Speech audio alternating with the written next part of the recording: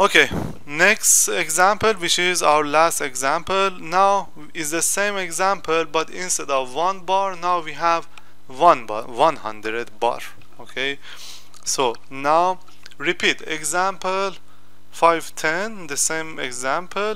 In the case when the operating pressure in the both shell and tube is 100 now I have a new pressure. My pressure is not 1 anymore. But the method is exactly the same thing material is the same so now I have a pressure. I need to go find the new pressure factor. Before we had one bar the pressure factor was one. Now we have to find it. We use again the same equation but now we have to go read the new C1 C2 C3 material of construction is the same so the material factor is the same. The base price the price at one atmosphere and three and uh, carbon steel is again the same the same the same value that we find from the figure okay? At one that, that figure is again that figure that we find the price is for 2001 and one bar. That's why the the factor is one. But we have to now we have another pressure that we have to correct correct it. So we have the base price which is 25,000 is the same now we have different pressure we have to go we have to go to this table and find C1, C2, C3 for our pressure. So for floating head, floating head, my pressure now is 100, alright, which is in this range. My pressure is 100, which is between 5 to 140. So this is my C1, C2, C3 for the heat exchanger. So I will use these three C's to find the new pressure factor.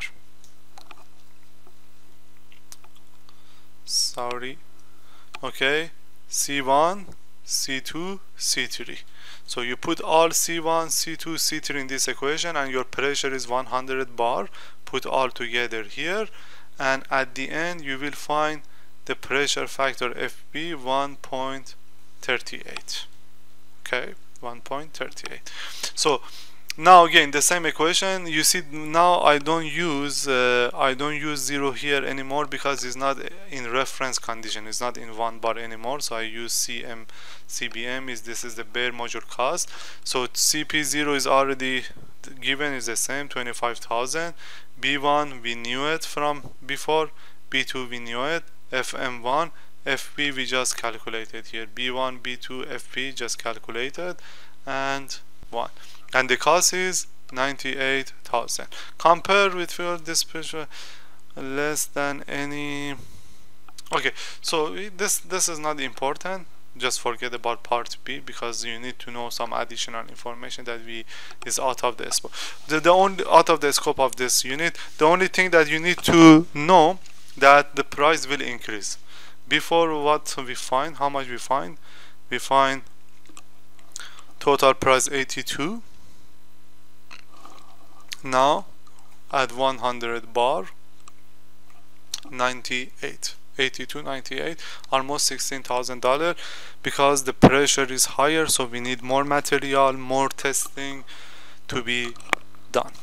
So we are almost done with this part uh, so here uh, is just uh, one additional example that is asking us to compare let's say a heat exchanger that has an area of 100 uh, 100 uh, square meter area. So compare different scenarios.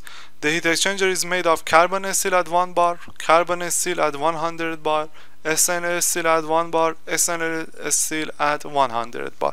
So it's like like in this table like he already calculate we already calculate that. I just show you like what's the difference between this value. So um, you know like just comparing like what's the effect of material what's the effect of pressure. So let's say for pressure 1 bar and 100 bar material construction carbon steel stainless steel carbon steel stainless steel so the base price for all of them is the same. Cp0 the base price. So this is actually this data are you know like this these examples they continue. We have two other examples that I'm not gonna show here that in those example uh, like you need to go find the effect of uh, you, you need to go find the FM different materials and you need there are tables figure that you can find this FM the material const I mean the material factor. So then once you do that you will have all the information. As I said no need to know it for now. We already work on these two examples. Carbon steel in 1 bar and 100 bar. There are two examples that you need to do calculation for stainless steel. So uh, the base price for all of them is the same 25,000 K is 4,000 each K is 1 kilo actually is 1,000 okay?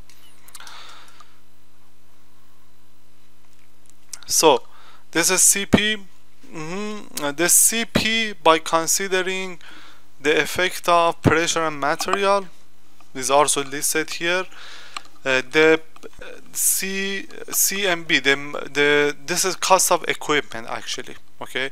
Cost of equipment uh, you see that the effect of uh, the effect of carbon steel is a lot. So I mean stainless there is a big difference between carbon steel and stainless steel. Carbon steel and stainless steel they have a big difference in the in the price of the equipment okay? But for the bare module okay so the bare module at the reference condition. It means uh, for the for the reference okay bare module cost for the reference condition which means which means one bar and carbon steel for all of them is the same 82 but C and B the bare module cost that consider the effect of pressure and carbon steel I mean the material will be also different from each of them. So the base condition the base price of the equipment is the same for all of them. The base price of module the module cost that consider labor in installation everything the base for, for the same for all of them is the same. Why is the same? Because in calculating all of these two factors we consider only one bar and carbon steel. That's why for all of them is the same as carbon steel and one bar. But cp the price of equipment this is the equipment itself. This is the equipment with installation uh, testing material labor all together. So this these two factors will be different depending to the pressure and material of construction. This is kind of conclusion about this part. And okay. Okay uh, one one important thing. Let's go back to this table. Okay in this table what you see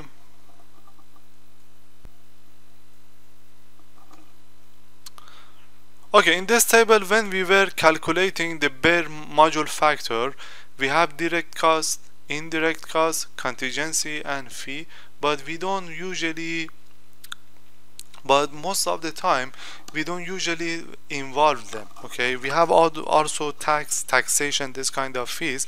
Then most of the time we don't consider them or we don't involve them in the in the uh, in the calculation. We do, we add these fees we usually calculate up to here because this this this part up to here direct and direct cost is the most important one. But those factors those values that you have in the figures in the uh, in the table they usually don't consider contingency and uh, contingency and other fees in the modules in the for example bare module factor or the total cost factor uh, bare module cost. The reason is that these fees they will change really from one place to another one from one country to another one is really related to the governmental regulations you know a lot of things involved in that. That's why we add them separately at the end. So we first calculate the total module cost CBM and then we will add the contingency and other fee in the total cost. So this slide is talking about that.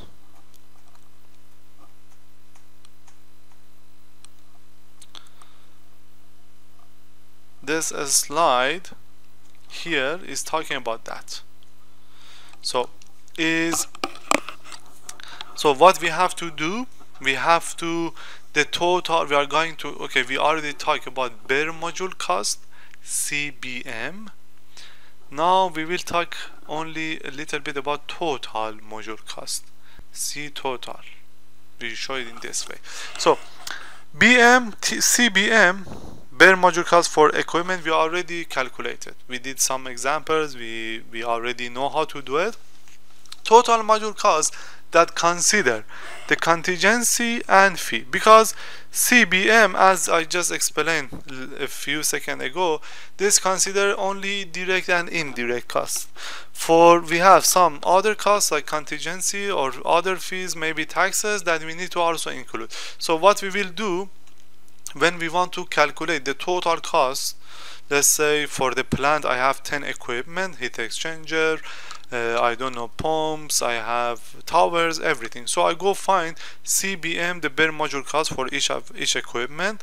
I sum all together and then for the final calculating the final total cost okay final total cost I just corrected by this factor 1.80 which is for considering the contingency and any other fee that we have that this will give us give me the total cost of the equipments with installation material everything. So contingency usually we consider 15% for contingency and 3% for some other fees. Totally how much? 15 plus 13 totally is 18% so if I have if the total cost here is 100% I have to add 18% more that gives me 118 percent or 118 percent or the factor that I need to add will be 1.18 this 1.18 is coming from here. 1.18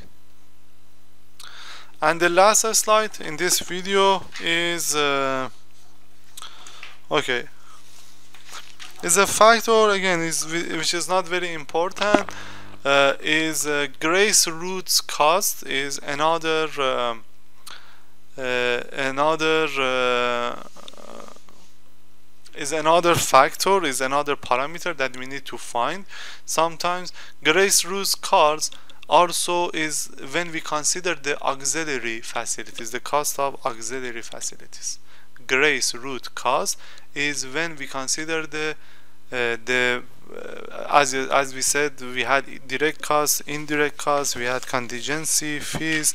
So like those are the costs that we have. Mm, we have also auxiliary facility costs. If you remember in slide 19 i think so we had auxiliary facility costs. So we consider the contingency and fee cost here by this factor.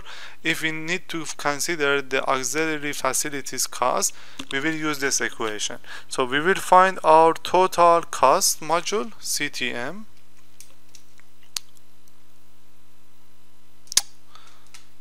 CTM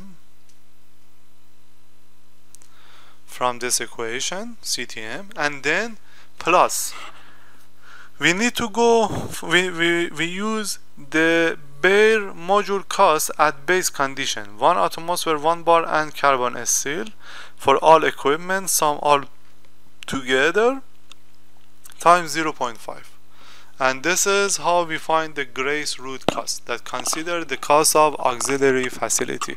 So let's say for uh, auxiliary facilities like the warehouses administration offices i don't know storage places. So dep depending to which type of equipment we are using we need also some auxiliary uh, facilities that to consider the cost of auxiliary facility we use this equation. The cost of the equipments at base condition one bar and carbon steel all together sum all together times 0.5 or 50% of the total cost of the equipment at base condition. Why we use base condition, reference condition? Because the auxiliary facilities, they don't depend to pressure and material construction. The storage that we build, that we make, it shouldn't is not is not depend it doesn't depend to the operating pressure or material construction of heat exchanger the administration office that we have it doesn't depend to the the the the office that we have how big or small is that office doesn't depend to the to the pressure or the operating pressure of heat exchanger or the material of construction of the heat exchanger right? So that's all for this video. I'm gonna stop here. I'm gonna uh, upload another video for the remaining part of this unit.